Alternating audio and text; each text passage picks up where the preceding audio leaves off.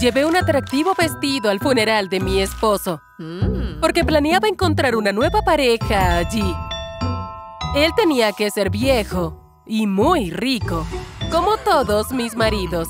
Viejos ricachones y solitarios pagaban por casarse conmigo, solo para poder dejar este mundo en los brazos de una joven belleza. Inesperadamente, un apuesto joven se me acercó y su rostro me pareció un poco familiar.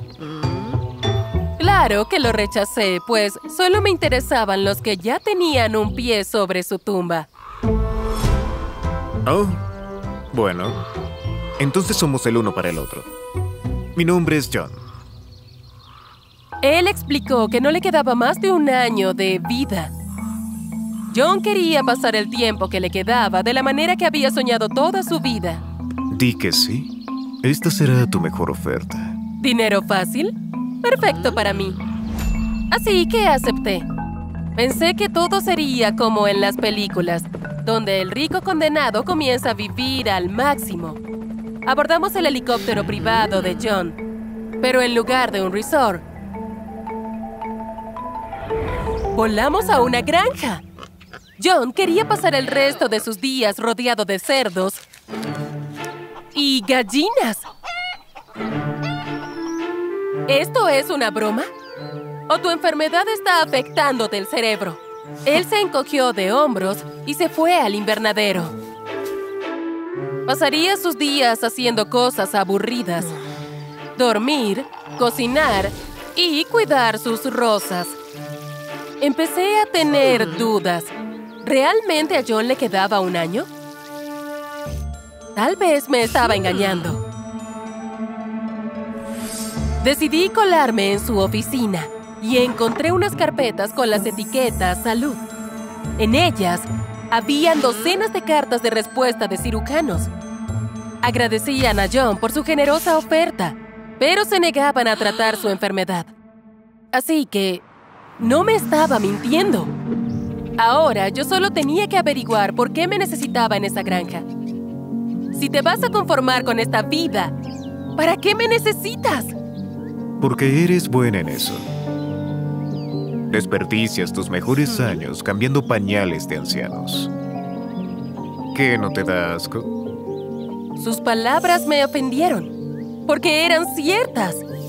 Hirió mis sentimientos. Así que me fui. John sabía que se había pasado de la raya y me trajo una rosa para hacer las paces. Pero yo de inmediato tiré la flor a la basura.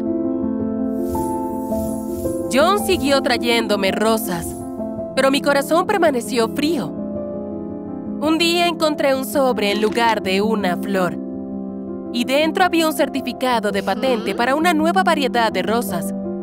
Le pedí a John una explicación. Hace 10 años crié una variedad especial de rosas y le puse tu nombre porque te he amado todos estos años.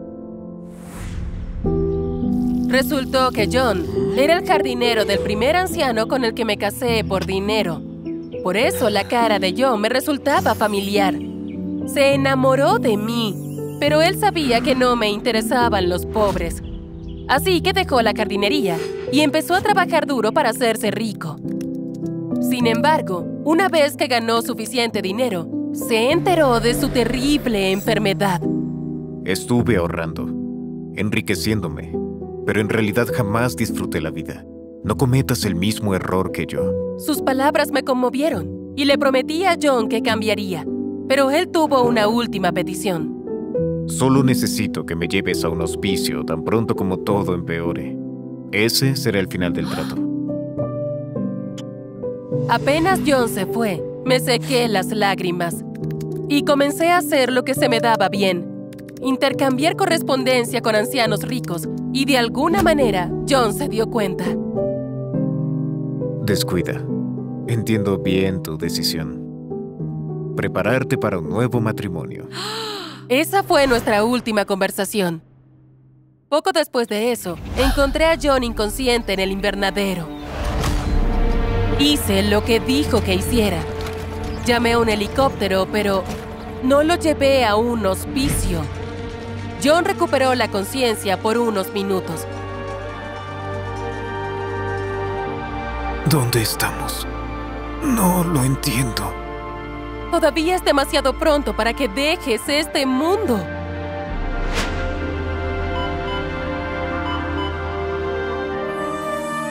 No pasé los últimos meses buscando un nuevo anciano,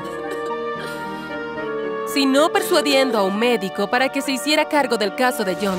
El hombre canoso en mi computadora era un cirujano y accedió a operar a mi esposo. Eventualmente, John comenzó a recuperarse y me preguntó por qué lo hice. Porque me hiciste darme cuenta de que nuestra vida es corta demasiado corta para centrarnos en el dinero. Le agradecí a John por ese trato, ya que realmente era el mejor que había hecho. No eres rico hasta que tienes cosas que el dinero no pueden comprar.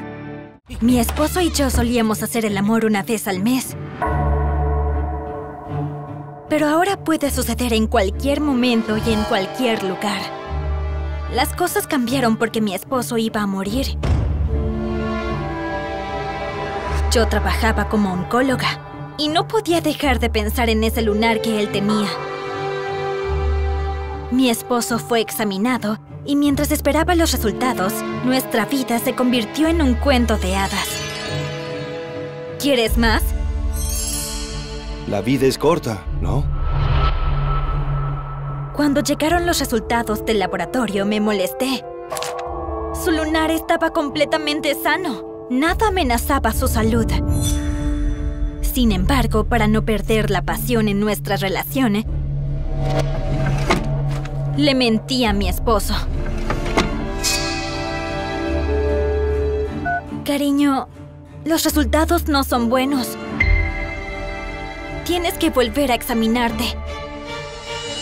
Esa noche fui a casa, esperando recibir mi dosis habitual de endorfinas. Pero lo que encontré en el dormitorio me desconcertó. Voy a morir, ¿verdad? Solo no me quieres decir la verdad, ¿cierto? Le traté de decir a mi esposo que eso era normal. Que solemos comparar los resultados de cada examen y muchas veces se contradicen pero no me escuchó. Definitivamente voy a morir. Mi vida se acabó. Cometí un error. El despreocupado y apasionado Walter se había esfumado.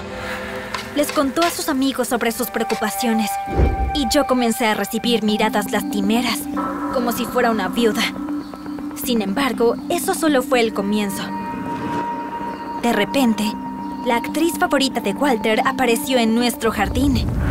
Sus amigos le habían preparado una sorpresa. Ellos creyeron que conocerla lo inspiraría. Y debo que eso levantó el ánimo de mi esposo. Él empezó a gastar el dinero que había estado ahorrando durante mucho tiempo. Pero eso no hizo ninguna diferencia para mí. Tenía un montón de nuevos pasatiempos y ya no había lugar para mí.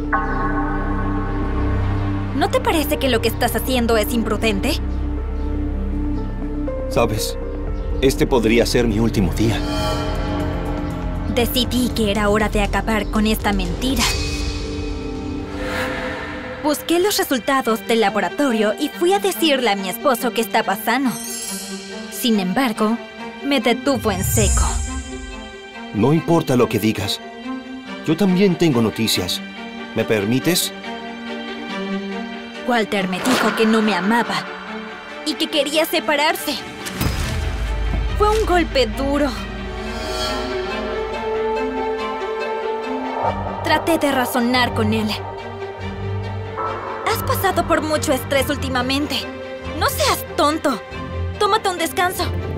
Pero él se mantuvo firme y me dijo que se iría de inmediato.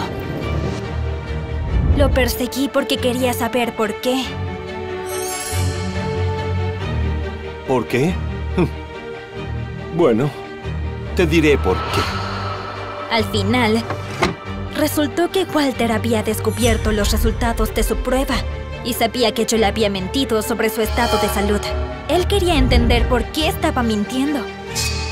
Y cuando le iba a decir la verdad, Solo te sinceraste cuando dejaste de obtener lo que querías de mi enfermedad. Eso fue malvado y egoísta.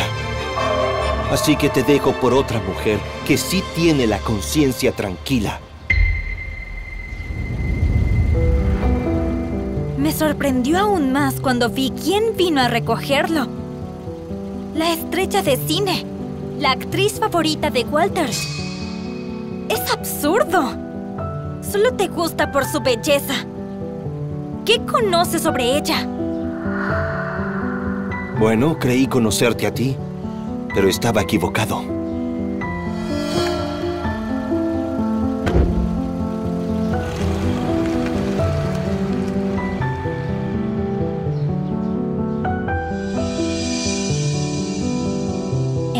Y el engaño son los peores cimientos para tu familia.